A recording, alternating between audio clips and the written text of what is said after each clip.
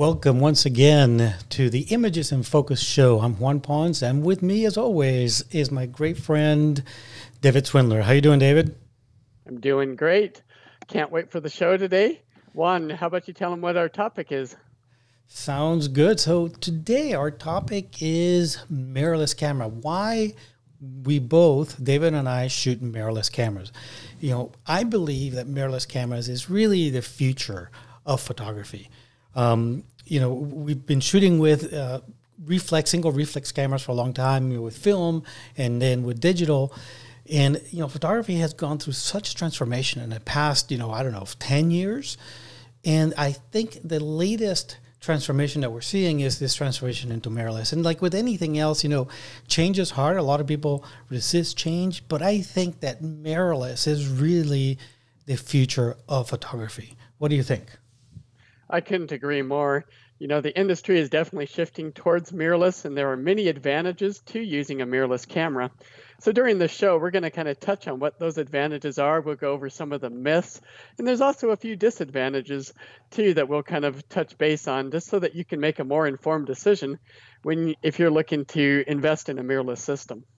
Yeah, I mean, you know, and if anything is a testament to how we believe in mirrorless, both David and I switched over to mirrorless a long time ago, only because we saw the light, we saw the benefits of this technology. So why don't we get started, um, David, with the myths because you know typically whenever you tell people you know you're shooting mirrorless so they see you with a mirrorless camera they're like well but you know i heard x y and z and you're like oh my god this is not true a lot of it is you know people kind of resisting you know we have as human beings we have this need to kind of justify what we do or how we do it. You know, most people do. So a lot of times it's hard to accept that change, and I think that's where these myths come from. So why don't we yes. talk about one of the one of the first myths and one of the biggest myths here, right? And it's, you know, a lot of people say, you know, I, I, see that camera that's mirrorless, but it's not smaller than a DSLR. I thought the mirrorless were small, tiny little cameras. So why don't you tell us about that a little bit, David? Yeah, and that's so true. In fact, let me show you just a little example. Um, I've got a Sony A7R4 right here, and I've got a Canon 5D Mark III right here. You can see side by side that they're relatively about the same size. If we look at them from the side, um, you can see that the Sony is a little bit thinner, which is to be expected. You know, that's one of the advantages of a mirrorless camera is we don't have to have room for that mirror in front of the sensor. And so, yeah, it is a little bit thinner, but size-wise and weight-wise, they're pretty equivalent. You know, the weight might be five or 10% less, but in practice, you'd hardly notice that, you know, when you're holding them in your hand. And so that's one of the big myths I would say that's out there is that mirrorless cameras are significantly smaller and lighter. I would say, well, that's actually not entirely true. And then with the lenses, um, they've done tests where they've taken a bunch of mirrorless dedicated lenses and compared them directly with DSLR um, lenses and found that, you know, overall, they're about equivalent. You know, there's not necessarily a big size or weight difference between them. In fact, it's more a lens to lens difference. And that's because there's so many things that go into designing a good quality lens besides just making it as small and light as possible. Well, the other so, thing is, right? I mean, you're comparing, when you were comparing those two cameras, you were comparing um, both full frame sensor cameras, right? Exactly. Um, uh-huh. And that's where the cameras are going to be about the same size because they have to house the same size sensor. Um, and the lenses are going to be about the same size because the, sens- the lenses need to project an image to fit on that same size sensor. Um, and yes. actually, one of the things that we're seeing, right, with especially with the Sony lenses, is that a lot of these lenses, the Sony equivalent, are heavier than the than the DSLR equivalents because you know they're newer designs, they have more glass in them, you know they're mm-hmm. higher quality, and that yes. makes them even heavier. Exactly, and so yeah, you're not necessarily going to gain a lot of weight savings by switching to a mirrorless system. But as Juan said, if you really want the weight savings, then you have to go to a different size sensor, like a crop sensor or a micro four thirds. That is where you're really going to get the smaller form factor. That's a now, great segue because I have a, I have a crop sensor Sony camera here that I want to compare it with a full frame sensor um, Sony camera, just so that people can see. This is, you know, a um, A6000, and you see it's a really small size and nice and thin. And we compare mm-hmm. that with this is an A9. Um, so if you can see the two different sizes between the A9 and the A6000, you know, there's a substantial difference, but that's because you know we're talking about a much smaller sensor. A lot of what you're seeing with um, uh, crop sensor DSLRs, you know, they are actually about the same size as full frame DSLRs, right? For some reason, a lot of those companies decided to keep the same sort of body shape, even though the sensor was was much smaller, and they weren't really taking advantage of the smaller sensor to make the cameras that much smaller. Yeah. And you know, one thing that Sony did when they first started coming out with their full frame mirrorless is that they made the grip on the camera so small that it felt like a toy to a lot of people. yeah. You know, it's actually really hard to grip, especially for people like with large way. hands. Yeah. Exactly. And so they decided, you know what, maybe it's better that we make that grip a little larger, kind of beef up the body size a bit just for ergonomic control. Yeah, I mean, you know, it, it, you're absolutely right, and that's one of the things that we've seen with the iteration of these cameras, especially on the Sony side, because you know, Sony, and we're going to talk about this a little bit later, is kind of a new entrant at this field um, from a camera design perspective, and they've gone through a really, you know, drastic. Um, iteration in their design, like you were saying, especially on the grip size. You know, they started with very small grips. These little six thousands, these little six thousand series of cameras, crop sensor cameras, they have very small grips. And I find these, I mean, I don't have big hands, and I find these hard to shoot with for extended periods of time. You know, for little shooting here and there is fine, but you know, when I'm shooting wildlife or something like that, my hand starts to cramping up because this grip is is so small.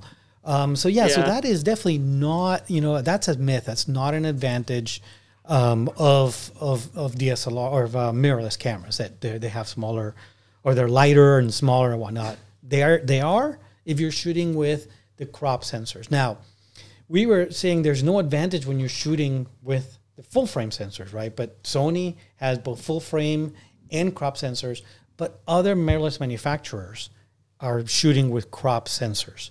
And in those cases, like Fujifilm, for example, the cameras can be smaller, just like Sony's crop sensor camera is smaller. Um, and those lenses can also be smaller, right? Oh, much smaller. Uh-huh. So a lot of people really prefer, like for their travel setup, to shoot like with a phony, uh, like a Fuji X-T3 crop mm-hmm. sensor. You know that camera has a phenomenal sensor. If I was going to go crop sensor, yes, um, yeah. I would be happy shooting with that Fuji X-T3. Um, but you know, I always love my image quality. I shoot a lot in very low light conditions, so mm-hmm. for me, I have to kind of stick with that full frame sensor just because that's that's my style of shooting. But you know, if I was gonna try to do a lot of street photography and I wanted something that's small, I can easily kind of fit in a side pocket or something, yeah, crop sensor would be awesome. Yeah, no, I agree. I mean, for me, it's it's all about the image quality, and that's really one of the reasons what led me to Sony uh, was the image quality. So, certainly, you know, being mirrorless is another one, but um, the image quality and the way to get that image quality right now is going to be by using a full frame sensor. Now, you know, that's not to say that these crop sensor systems have, you know, incredibly good image quality. They do. They have very good image quality, especially when you compare it. You know, it's amazing to me, you know, how uh, much of image quality snobs we've become right? If I yes. look at what I'm shooting today compared to what I was shooting, you know, 15 years ago, shooting Provia slide film at ISO 400, you know, the grain on that was like boulders in the image. It was just unreal compared to what uh-huh. we're seeing today. So, you know, it, you know, if you're shooting a lot of low light, which I do as well, because I'm shooting wildlife early and late in the in the day, that that extra light gathering ability of that full frame sensor is going to give you a much better image quality. But for a lot of people, you know, a crop sensor camera is more than adequate enough. Um, and one of the neat things about, um, and I, I, don't want it to sound like a Sony infomercial because I'm not, but you know, we have a lot of experience with Sony because I've been shooting Sony now for four years, um, and you know, th- these little one, these little cameras have you can get um, se- lenses that are for designed for crop sensor. So you can get a really small setup with this camera, for example, that it will be a fantastic um, travel camera. But the advantage of it though is that you can also use your full frame lenses on it as well. So you could have a small um, crop sensor lens. I'll show you one right now. This is the, the little kit lens that comes with the uh, with the 6000, and this is a 16 to 50, which translates into a 24 to 70 lens. This little setup, this is a 24 to 70 on this little camera with incredible image quality, makes a great um, travel kit. But you can also use, for example, the big 24 to 105 with this as well. So you could, you know, the nice thing about having that system that detects both crop sensor lenses and full frame lenses is that you have much more versatility and a larger selection of lenses as well. Yep.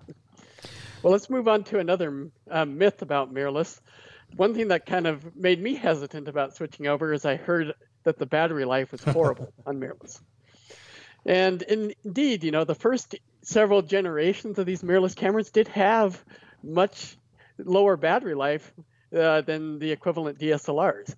But it, you know, with the later cameras, that has been fixed. And I would say with my Sony A7R3 and A7R4, I get longer battery life than I ever got with my older Canon DSLRs.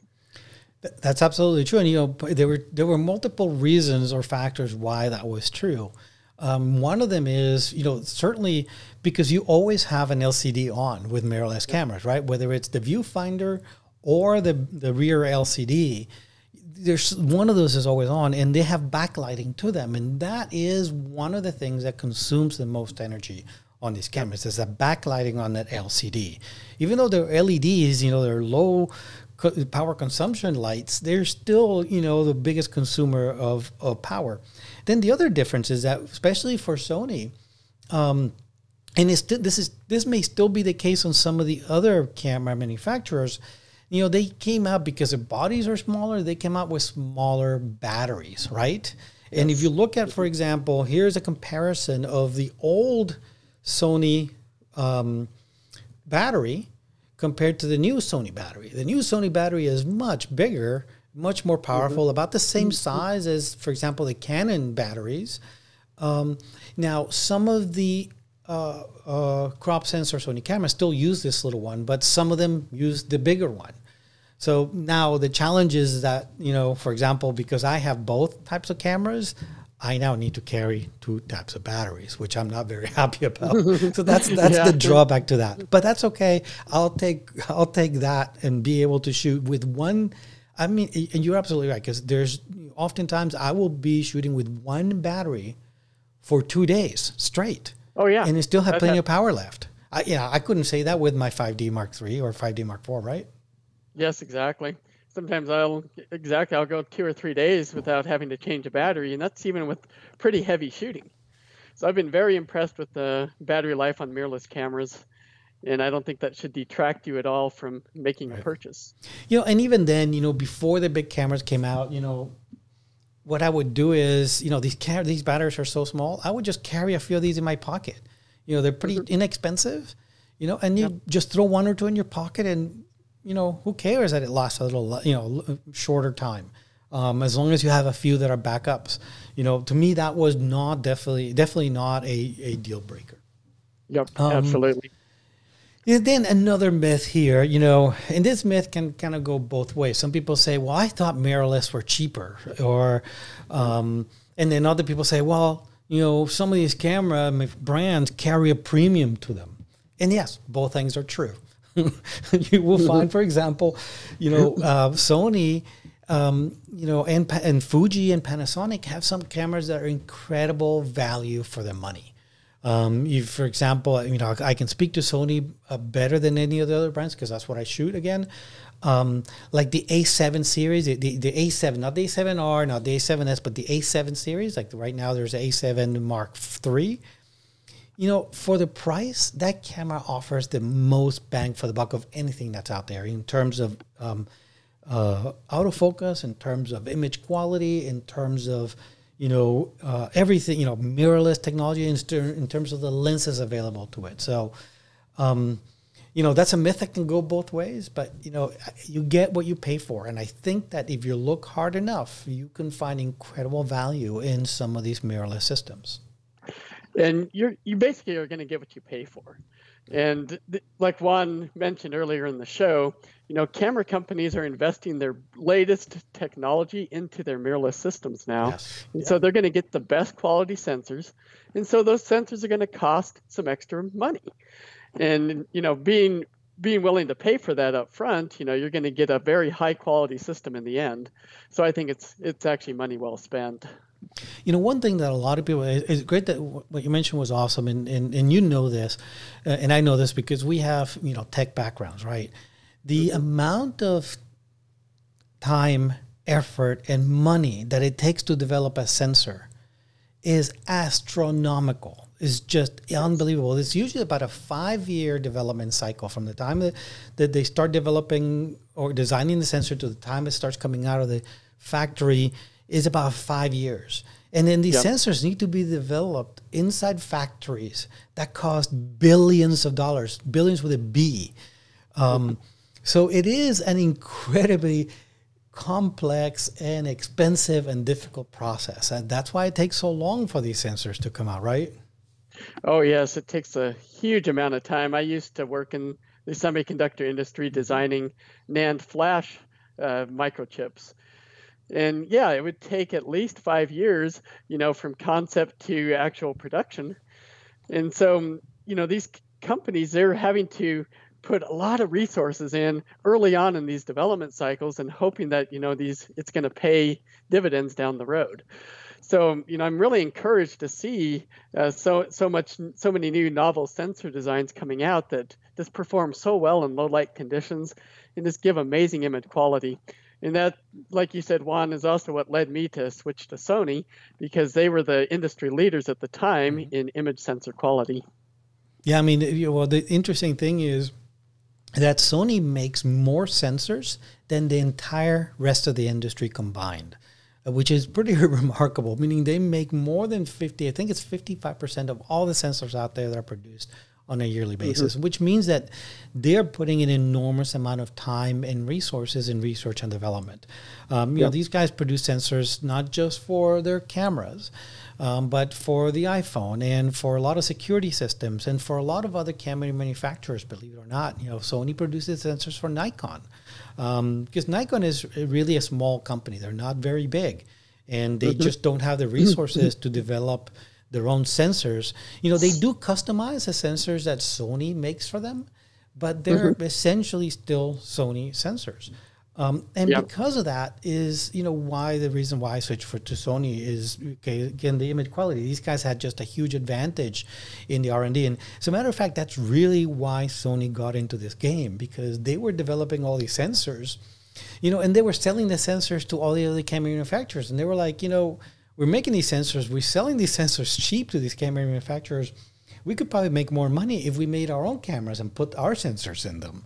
Um, yep. And that's really how this this evolved. They went out and and bought Minolta to bring in some of the technology and know-how in house, and then they came out with their own um, their own product line. So. Uh, um, yeah, so don't you know the the whole thing about you know sensors? I think is incredibly important to understand. Um, now, again, you know, we can get bogged down with this, and we can go down the rabbit hole of of pixel peeping and looking at the uh, you know minuscule differences between sensors and quality between one camera and the other. Any other camera, modern cameras today, just produce stunning results. So you can't go wrong with anything that you know. You just got to find what works for you. Um, exactly. And, and, think about the differences between these. It's, it's pretty minuscule. You know, for us, you know, for, for, professionals that do this day in and day out, we're always looking for that little edge in, in quality and performance. Mm-hmm. But for ninety nine point nine percent of the people, there, there's there's virtually no difference, right? Yeah, and you can get very equivalent results, especially you know with post processing technology that's come out recently too you know what I find is having the better quality sensor just makes my life a little easier in the post processing yes. world. Yes. And you know, more often than not, I can work with a single image coming out of my Sony camera because of the expanded dynamic range. But you know, with my older um, Canon cameras, you know, I could still get great imagery, but I might have to blend two exposures instead of work with a single image. So. Right. No, I, that's that's a great point. You're absolutely right because, you know, it's amazing once I switched to Sony how few, uh, you know, how few times I shoot HDR anymore because I can get yeah. so much out of that single frame that I yeah. hardly ever shoot HDR. I mean, it's and it, it and you're right. I I and I think I mentioned this before on the last podcast, is I like to spend as little time as possible in front of the computer working on my images. I'd rather be out shooting. Um, yeah. you know, it, it, I've spent enough time in my life in front of a computer that I don't want to spend more working on my images. So the less time I need to spend on my images on the computer, the better off I am. And that's why I like that um, uh, image quality. Now, let's talk about some of the other advantages. You know, the top advantage for you and I, and I'll let you start, lead off with this. What's the top advantage of mirrorless? I would say the thing I like most about mirrorless is that what I see is exactly what I get. And when I go back to shoot a DSLR, it's actually really frustrating to me to look through an optical viewfinder, see this amazing image, hit the shutter button to take it and then look at the back screen and realize it doesn't look anything at all what like what it looked through that optical viewfinder. Right. It's, it's I mean, you're, you know, you're, you're like you said, you, when you're shooting with mirrorless, is what you see is what you get. You actually see the end result before you even, yeah, uh, before you even press that shutter. You know, we're talking about the live viewfinder, right? A viewfinder that mm-hmm. actually shows you exactly what you're going to get. You know, a lot of yeah. folks, and this is another myth um, that we failed to mention earlier, but it's it was true at one point and is no longer true. It was true that early on in the mirrorless systems, there was a lag in the viewfinder. So it was hard to shoot anything that was fast moving, any kind of sports, right? Because you would have a quarter of a second, half a second lag between what was happening in front of you and what you see the, through the viewfinder. That is no longer the case. any any yep. modern mirrorless camera doesn't have that issue because if they did, no one would buy it. So yeah. um, that's another myth that I wanted to dispel. So yeah, so but but going back to what you're saying, the live viewfinder, you know, the fact that you can, like you say, what you see is what you get. Plus, in addition to that, for me, is the histogram that I can f- show in my viewfinder. The great thing about having an electronic viewfinder is that you can put all sorts of different things on that viewfinder. So, for example, I have on the bottom right corner of the frame, I have the little histogram that I can see as I'm adjusting the image. And I have a little video that I want to show you guys real quick what that looks like. Um, let me switch over here and actually show you guys a really quick demonstration. So this is something that I shot at my desk so for you guys to see. And what you'll see is that um, I can, uh, uh, you know what, I need to, it's hard to see the, um, I'm going to move this, this, this screen a little bit so you guys can see the, uh, the histogram a little better. That's, that's good. Um, and what I'm going to do is I'm going to show you guys as I adjust the image what the histogram is doing. This is the view through the through the viewfinder. You can see that as I adjust my my, my f-stop, that histogram immediately in real in real time moves to show me what my image looks like. And you can also see the effect on the viewfinder. You can actually see what's happening as the image gets darker or or brighter. Let's play that again one more time real quick so you guys can see that in case you get anything get to see before. Look at the f-stop. As I increase the f-stop, the image gets darker and my histogram moves to the left. Yeah. So yeah, it's such a huge advantage. And you know what I find with mirrorless is that it actually prevents me from taking bad shots. Because like with the DSLR, sometimes I'd point my light or my camera into a high contrast. That looks really good. I'm going to take a picture, only to realize later that it's just absolute rubbish. But with the mirrorless, you know, I'm seeing exactly what the camera's going to capture, and I can immediately tell, hey, this just isn't going to work. You know, this is just way too high contrast, or the light's just not quite where it needs to be, and I'll and I'll actually not take the shot. So yeah, I mean the the histogram viewfinder is absolutely, you know, essential for me, especially um, for those situations, right, that are kind of difficult uh, exposure wise. Yes. Right. And I'm gonna let me bring up here a couple of examples real quick, as I think that that's that's important to show. Real quick, let me bring. Um, actually, this is this is one that is um, that I think is very emblematic or very uh, will sh- will show this. So this is an image of a bison, and this is the image, the, the type of image that I um, I like to show the most because it's one of those images that's the hardest to get the exposure right. And it's one in which you have, you know, a lot of white in the scene and a lot of darks, so, you know, kind of extreme exposure, you know, dark shadows, bright light, and you're trying to make sure that you capture all the details in there. So, for example, this bison in the snow, um, you know, have all these bright highlights on the, on the snow, and have a very bright, a very dark bison, and I have a very dark tree that's framing my bison.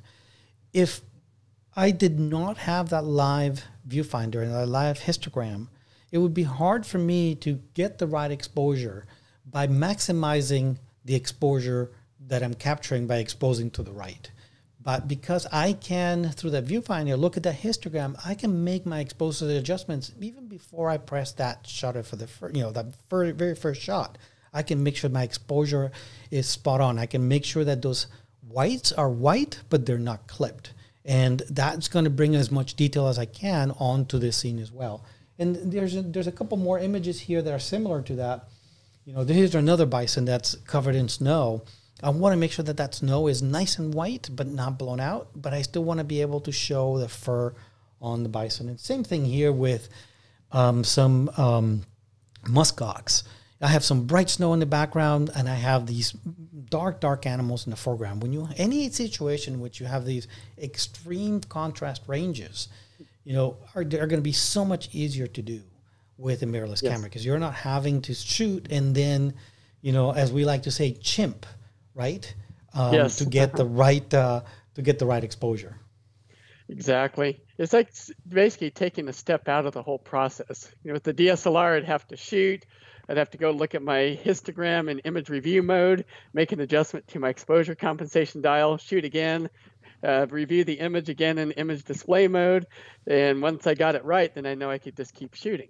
But with mirrorless, it's just seamless. I'm just going right into it. I'm shooting and I know I'm nailing the exposure every time.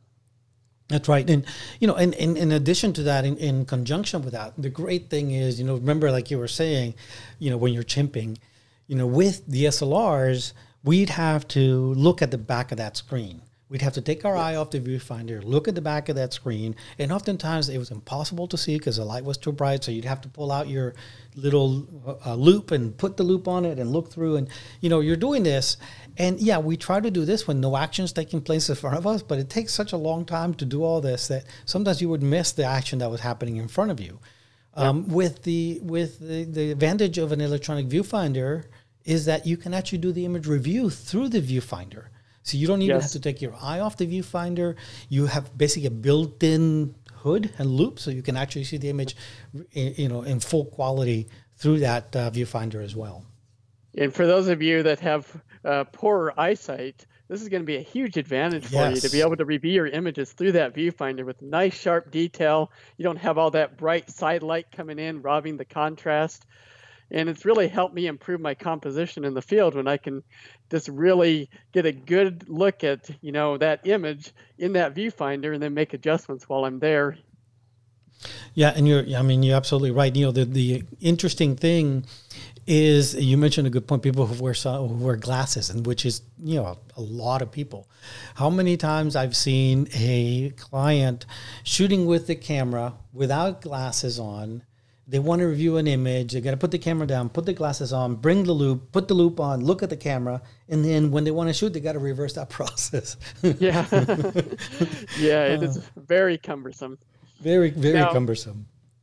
Now, one of the things that made switching to mirrorless easy for me, or easier for me, is the fact that you can repurpose your DSLR lenses on a mirrorless system. And so, uh, Juan, if you could just uh, switch over to my screen here. Yep. And tell me once you're there. You're you're there. Go ahead. All right, perfect. So this is a just a quick little diagram showing the the side by side differences between a DSLR on the top and a mirrorless camera on the bottom. So with the DSLR, you know, the light would come through the lens and it would bounce off this little mirror here up to an optical prism. The optical prism would then bounce the light into this optical viewfinder. Now with a mirrorless camera, they've removed this mirror block. So now the light comes through the lens and it just goes directly onto a sensor. And then the viewfinder up here is just a digital representation of exactly what the sensor is seeing. So that's why mirrorless cameras can be thinner. But the other advantage here is that any lens that will fit onto this DSLR with this particular back focusing distance or flange distance as we call it, um, we can put that on a mirrorless camera. We just have to put an extender or an adapter on here that will push that lens out that equivalent distance. So let me show you an example here. Uh, you can put me back on regular mode. So here is a Sony a7R4. This adapter here is designed for a Canon DSLR lens. You can buy an adapter for any lens. I have an adapter for Nikon lenses that I can put on a Sony and so forth. And if I put this on, now this is pushing out the lens, that equivalent Canon uh, DSLR flange distance. And so I can repurpose all my great Canon glass with my Sony system. For example, I love this Canon 11 to 24 millimeter lens. There is no equivalent in Sony world for this particular lens. So I can just go ahead and put it on and voila, it works great on my Sony mirrorless camera. Now there are a couple disadvantages to using an adapter. One of those is that some of the more advanced features on these cameras cannot be utilized. And things like being able to autofocus on the eyes, you know, depending on the type of adapter you have, well, that may not actually work. Um, also, the autofocus is going to be slightly slower because now you're adding an extra piece of electronics that that autofocus signal has to pass through. And on some of these adapters, they may only be manual focus or manual aperture. This depends on the quality of the adapter that you buy. There's so many adapters out there. We're not going to get into that discussion during this video. It's something that you'd kind of have to do your own research on, depending on what you want to get out of the adapter. The other disadvantage, disadvantage that I find is that these adapters sometimes aren't, don't have the best build quality. And because of that, um, they, they may not sit exactly flush. And so I do notice a little bit more focal tilt when I'm using an adapter on a mirrorless system. And sometimes too, it kind of feels a little chintzy, like you worry that your lens might fall off it or something. I've never actually had that happen. But yeah, some of these adapters, their build quality is a little subpar. Well, as as always, you get what you pay for, right? There are some yep. really cheap adapters out there that that are just really physical adapters. They mm-hmm. don't um, pass any electronics through, and do, you know, and do, you know, you can get those for thirty bucks, and they may be fine for certain things, but they will feel absolutely, like you said, chintzy in that they feel like they're not holding on to that lens nicely. And if you're using a lens like you you are with that 12 to 24, which is a very expensive lens, it's a beautiful lens, you uh-huh. don't want to chance it with a $30 adapter. You want to go for the higher end adapter that's better built.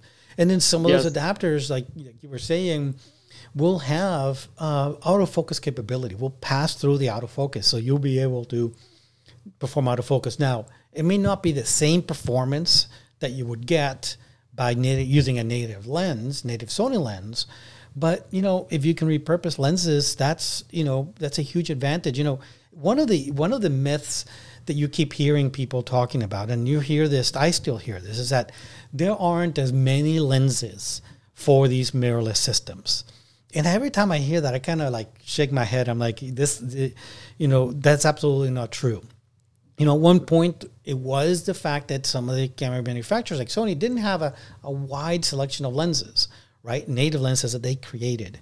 But that didn't really matter because through these adapters, you were able to use, you know, Sony, uh, Canon lenses, Sony, uh, uh, Nikon lenses, um, you know, Fuji lenses, all sorts of third-party lenses, Leica lenses, you know, uh, Zeiss lenses, all sorts of different lenses. So, you know, my argument is actually quite the opposite. That with mirrorless cameras, you have a much wider selection of lenses than you do with DSLRs because there are adapters that you can use because of that flange distance, and the flange distance really is the distance between the sensor and the lens mount.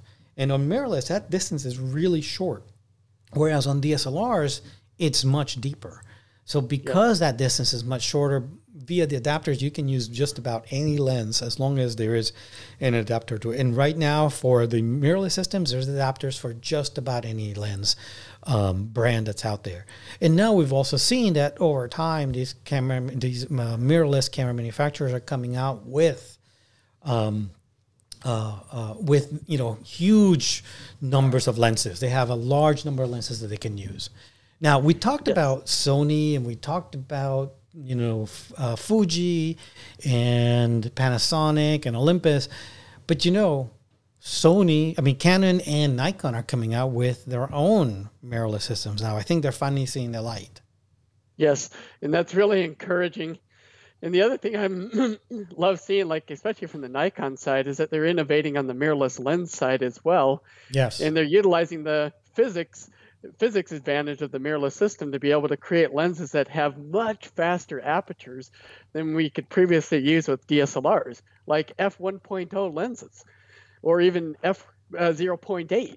You know, that can be a huge advantage if you're shooting a lot in low light situations and you need those faster shutter speeds. Yeah, I mean they, they, will empty your pocketbook really, really fast. Uh, those super oh, fast yeah. lenses, but but the fact that they're an option, uh, it's a great thing. And you know, it used to be that we mentioned mirrorless. It used to be kind of a brand fight. It's like you yes. know when you talk mirrorless, oh, well, that means you're not going to shoot Nikon, you're not going to shoot so Canon anymore. You got to go to a different brand. Well, now we're seeing you know Nikon and Canon come up with their own mirrorless system, so it's no longer a brand um, fight anymore. It's really more of a technology issue. Where is the technology going forward? Um, yes. So you know, talking about technology. So a couple other benefits or big things about um, uh, uh, mirrorless. Um, there's two things that I want to talk about that, uh, uh, uh, or two among others that I want us to discuss. One is you know autofocus performance, right? Um, what we're seeing with the mirrorless cameras is that because of the way the autofocus works, they can actually do a much better job at autofocusing than some of the DSLRs. The DSLRs are having a hard time catching up or keeping up, if you will, with the mirrorless systems. And the reason is, I mean, I'm going to bring up that picture again that you had earlier. Um, let me show that over here and on this screen. Okay, so when we look at the the mirrorless at the bottom versus the the uh, DSLR, once the light is coming in, one of the things that's happening is that light is hitting this mirror, right? That's here in a diagonal, and then the light is then going up to the pentaprism and out to the viewfinder. Now, the autofocus sensors on most cameras, on most DSLRs, are on the mirror itself right? And that's how the camera is measuring the uh, the focus for a particular shot, and it's using, you know, when we're shooting with a mirror, it's using what's called phase detect sensors, which are the best sensors to use for autofocus. They're the fastest and most sensitive uh, and most accurate. But what happens is when you press that shutter, what does that mirror do? That mirror folds up and comes out of the way so the light can then travel unimpeded down into the sensor. Well, guess what's happening when that mirror is up? Autofocus is no longer working, right? Because the autofocus sensors are outside of the path of the light that are coming in. So now when you take that shot, the mirror comes back down, the camera needs to go through acquiring the subject and focusing again and go through that cycle every time you make a shot. And that because you don't have a continuous the, the, the, autofocus sensors don't have a continuous view onto your subject you know it prevents those systems from being the best that they can. When you compare that with a mirrorless system where on the mirrorless system you have the autofocus sensors right on top in front of the imaging sensor and that light is continuously falling onto that sensor it will you know be able to keep track of those subjects throughout the entire image making process. So there's no time in which those autofocus sensors are you know on that mirror that's going up and down and it's going to have a view of your subject the entire time. And this is especially important when you're shooting subjects that are moving fast. Yes. DSLR and the focus is yeah. And when the focus is changing fast too. Like with a DSLR, when I would be shooting like a fast frame rate, especially with the subject moving towards me, I knew I would probably miss focus on probably half of those images. Right. You know? Yeah. And you know, it's frustrating because sometimes that perfect action sequence would be one of the f- images that were kind of fuzzy or slightly out of focus. Uh, Juan, if you could just switch over to my screen quickly. Yeah, go ahead. So this is an image I shot while I was in Mongolia, and you know the light was perfect for a couple passes with this eagle hunter riding with his with his bird, and I was shooting at 10 frames per second, and he was riding straight towards me, so the focus had to change quickly. And at the same time, I was also zooming out as he was riding towards me to kind of keep keep him filling the frame. And I took about 65 images in this particular pass. And when I loaded those on the computer, I was so impressed to find that every single one of them were tack sharp. That yeah. never happened on my DSLR. And that way I could pick the perfect shot, you know, where I had the awesome happy horse expression the rider's expression was great, and the eagle had its wings out, and he was just above the mountain, you know. And I didn't have to pick and choose uh, based on which images were sharp, which images were were blurry. You know, one of the things that those cameras, the DSLRs, do, you know, to try to keep track of the subjects as they're moving towards you, for example, is that they do predictive autofocus, meaning that when, while that um, mirror is up, and the camera has doesn't have a view onto the subject what it did before that it tried to ascertain the speed at which that subject is moving towards you. And it would predictively change the focus on the camera on the lens in order to try to capture the subject. From the time that it acquired a focus point moved the mirror up was able to trip the shutter and take the picture you know a fraction of a second happens between that but a subject that's moving pretty fast may have traveled, you know, dozens of feet in that in that period of time, right? So uh-huh. yep. because you know the mirrorless cameras don't have that problem, with that mirror that's in the way, they can be much better at maintaining the autofocus. You know, for me, the camera that I use the for birds in flight, which are probably one of the most difficult subjects to use shoot in wildlife, is the Sony A9 because the autofocus on this camera is just absolutely unbelievable because it can maintain a lock on that focus even while it's shooting. And you can see that when you're shooting with a camera.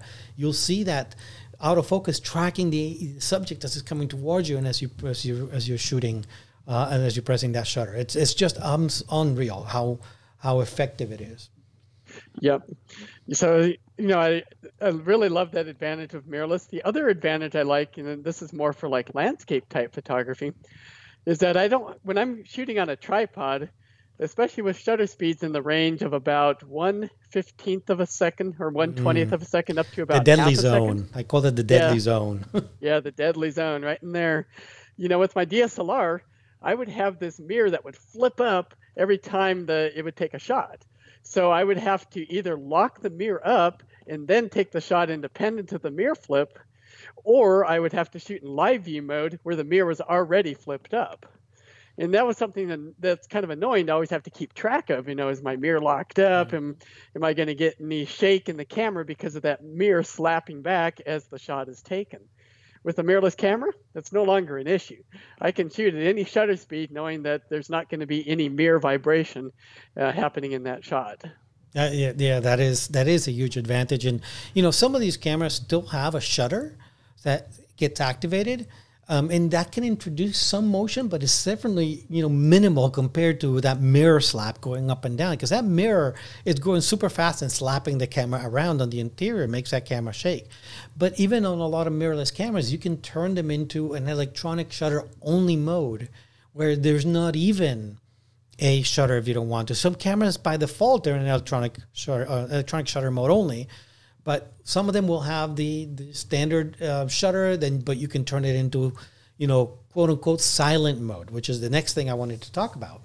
Um, silent mode makes the, the camera completely silent meaning there is no mirror slap noise there is no shutter noise there is no motor drive noise even though we haven't had to deal with motor drives for a while.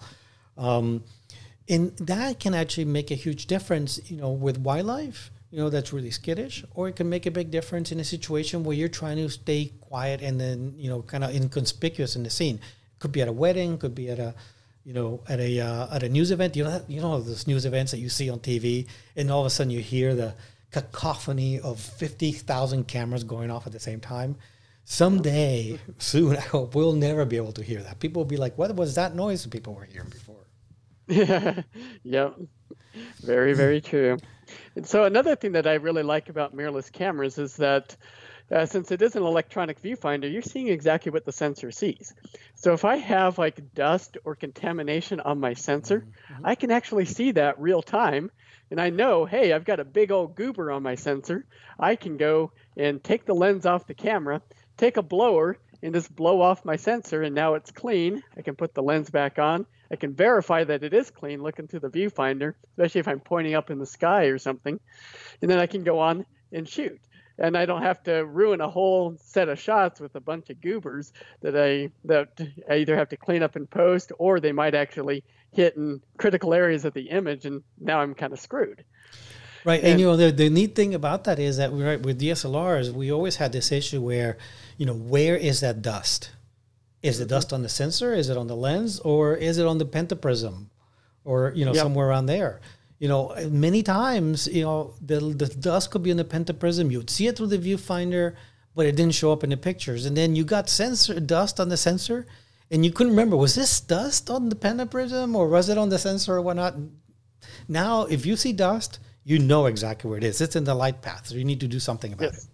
Exactly. And like on workshops, I'd get so many people asking me, "Hey, I see this big old thing in my viewfinder. you know, it's like a big old spot up in the sky." I'm like, "Don't even worry about it. If it's a DSLR, it's just on your Pentaprism. It's not going to actually show up in your shot." But and so then you'd have to worry about trying to clean a viewfinder, and you know if that stuff bothers you. So uh, let me show you an example one. Okay. Uh, if you switch over to my screen here, Go ahead. So this is a, uh, sorry, the image is still loading. It's going to look kind of pixelated here. Um, so this is an image that I took up by Mount St. Helens, and I got up on this ridge a little before the sun came up, and I was looking through my viewfinder, and I noticed I had all kinds of goobers everywhere. You can see all these wow, goobers that's like a smear up there on the right. Jeez.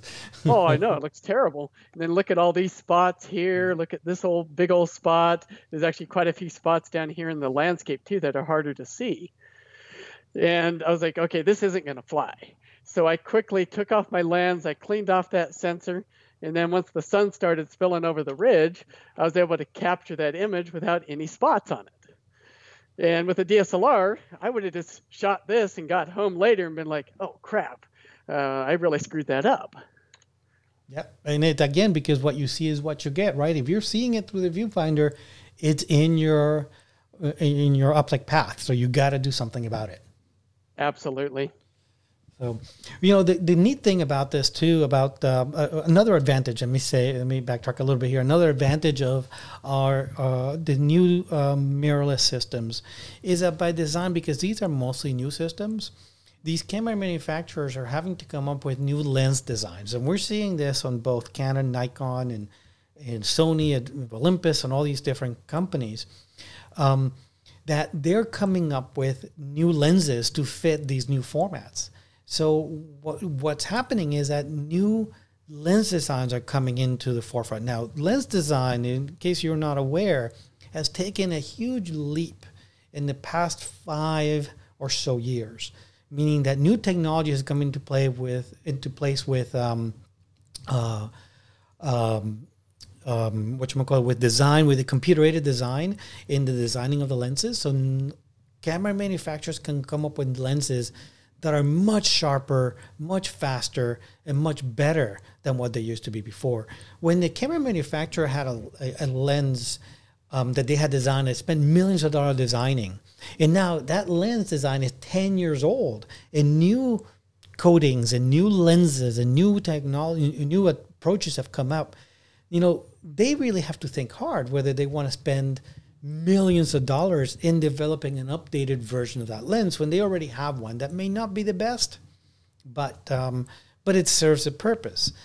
Well, these new camera manufacturers, you know, are putting a lot of money in developing new lenses, and we're seeing that with these camera, these camera manufacturers. For example, Fuji has an amazingly beautiful 100 to 400 millimeter lens. It's super sharp, very small.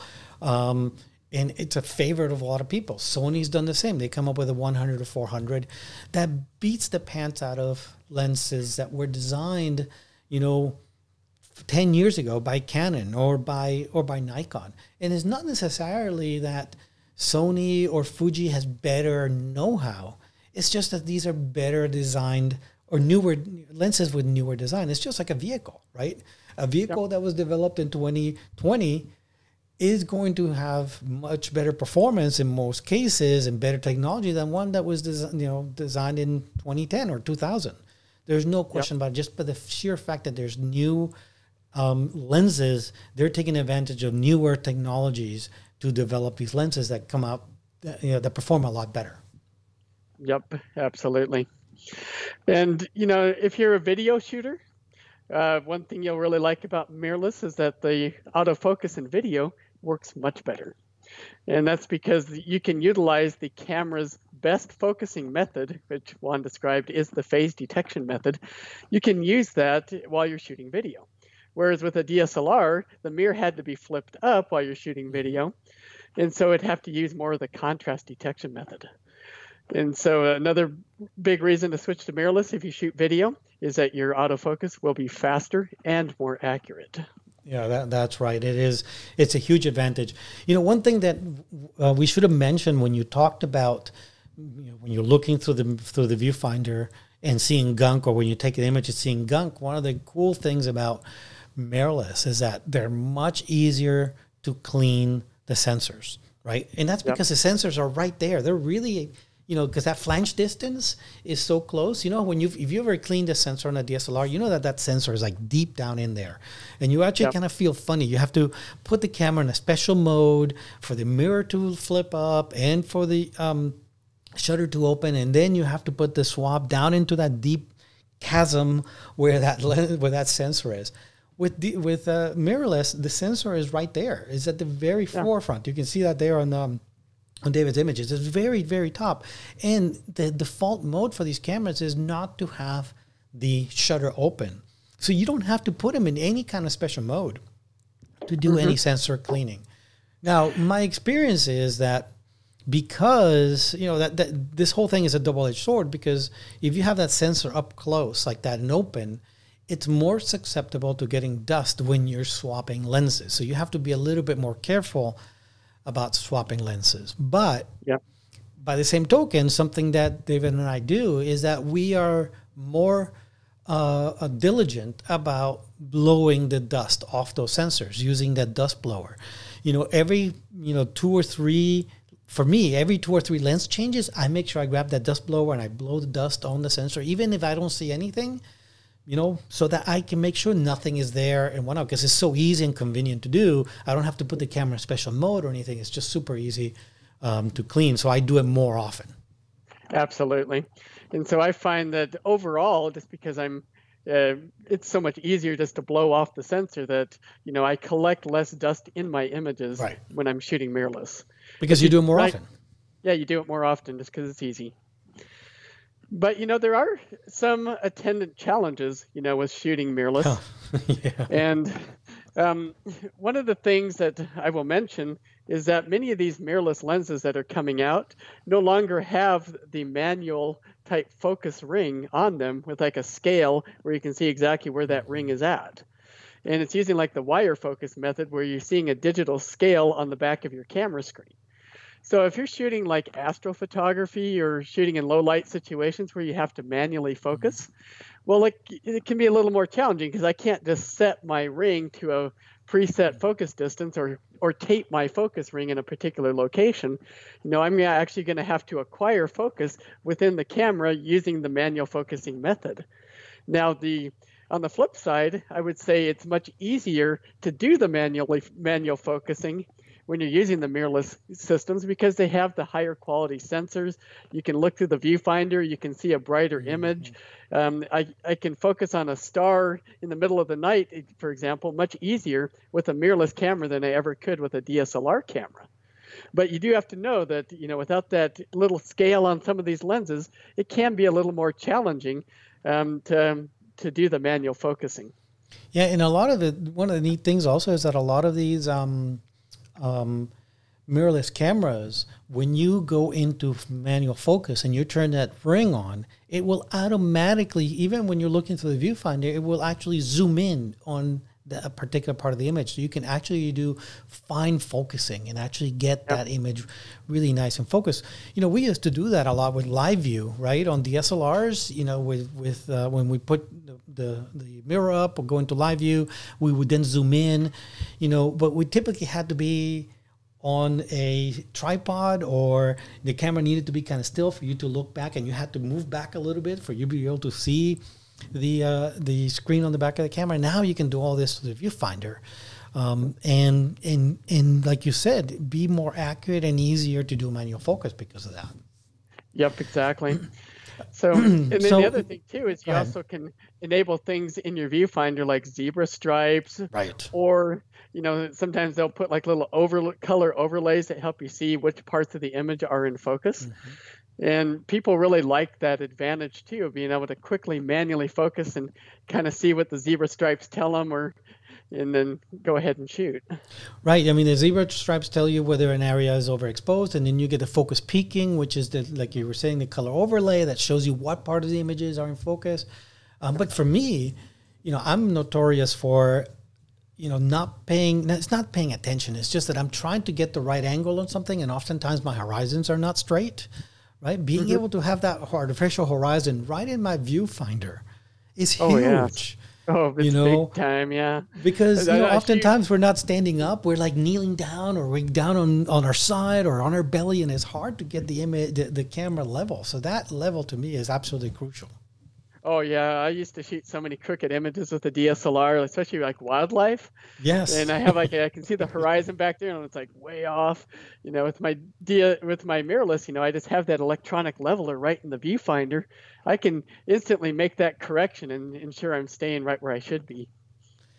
Well, you know, but you know, we've talked about all these advantages, right? And uh, there are some challenges, you know, with with mirrorless. Um, and you know, and the biggest one that I see is the steep, potentially steep learning curve, meaning you're oftentimes having to learn a whole new system. Now, if you stay within, you know, let's say you switch from Nikon to the Nikon mirrorless systems, your your your um, your learning curve is not as big. Yes, there are some things that are different, but you're still using a system that is more or less familiar to you. A whole menu system, ergonomics, all that kind of stuff that are pretty familiar to you.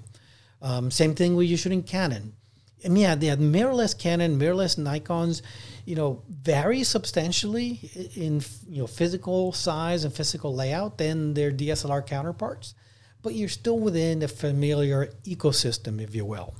But if you're switching from you know, let's say Canon to Sony, which is both what David and I did, that can be pretty daunting to a lot of people and it may take a little while. And if you're not strong enough you can you know revert back. You may be like oh this is too hard. And then you go back to your comfort zone. You go back to shooting with the canon or whatever other system was and it makes it harder to do that transition. So that is one of the biggest challenges that i see moving to mirrorless. Yes there is the whole thing about transitioning from one system to another and the financial you know repercussions that that entails. Um, uh, but you know, you there are multiple ways of handling that, um, and we maybe we'll talk about that a little bit near the end here.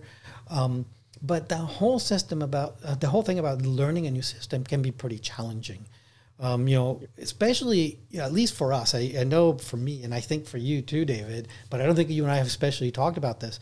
You know, when when I switched to, to Sony, the menu system in Sony has been just an absolute mess the entire you know through the entire period yes. it, and it has gotten better the past you know i don't know the past two years they've actually done they've gotten so much flack for this that they've mm-hmm. actually tried to organize it in a way that makes sense But yes. honestly, one of the things that happened was that the best thing that could have ever happened is that they now allow you to create your own um, menu system, right?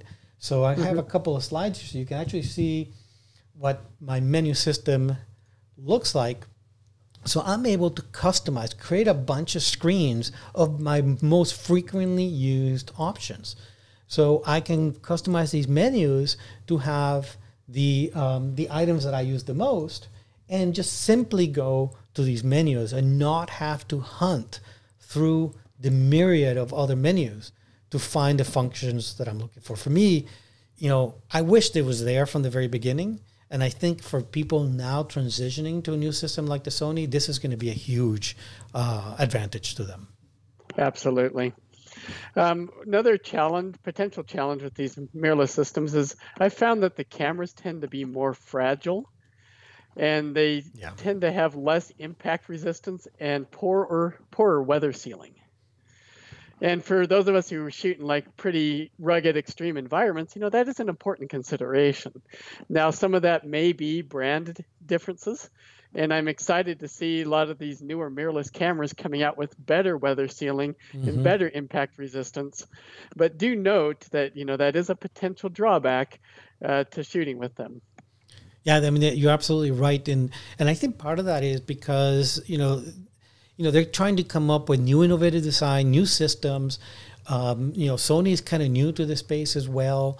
You know, Olympus isn't, and Fuji isn't new, but you know they're trying to come up with new innovative systems, and you know it does take quite a bit to to to design and engineer a camera that is as rugged and reliable and and as what we've seen from you know systems like Canon and Nikon with the one series cameras. I know with the within Canons you could actually use those things as hammers and nail nails into the ground into wood if you wanted to, and the cameras would keep on ticking.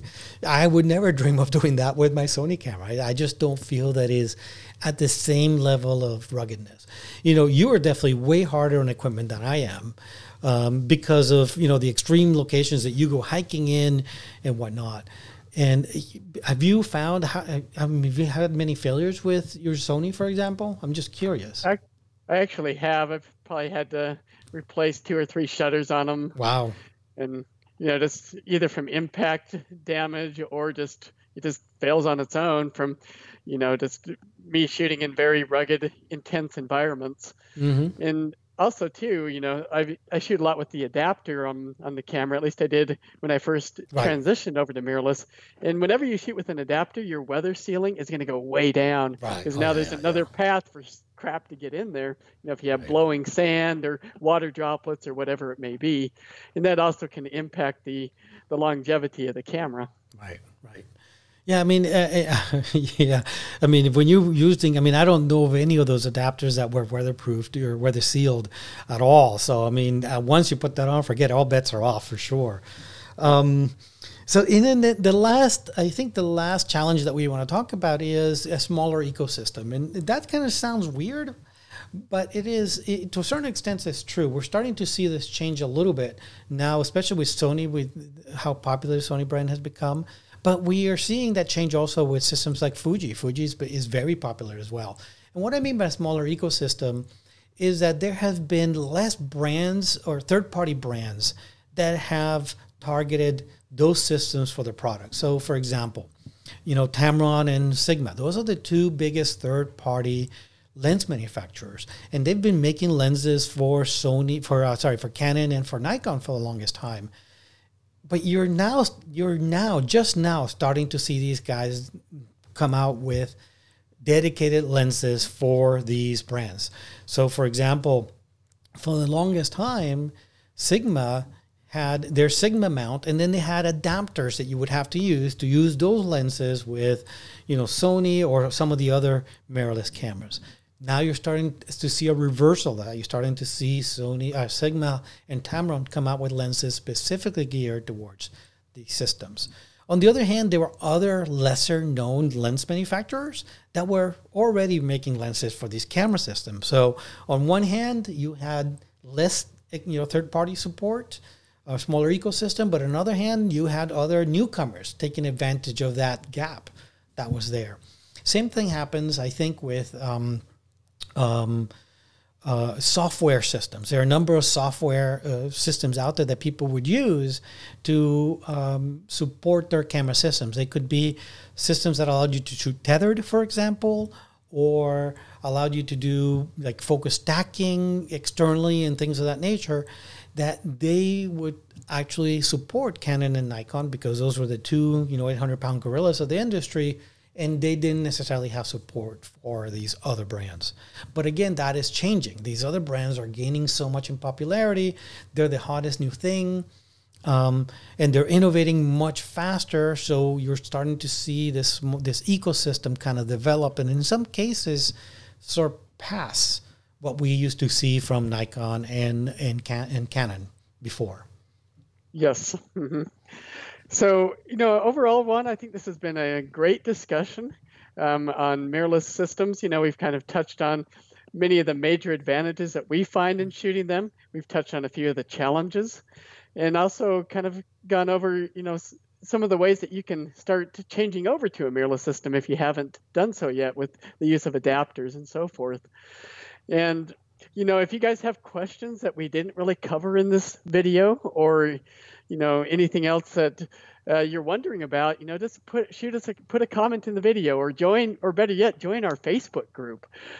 Our Facebook group is called Images in Focus. Go on there, post a comment, and we'll be happy to kind of respond to that and and give you additional information and insight.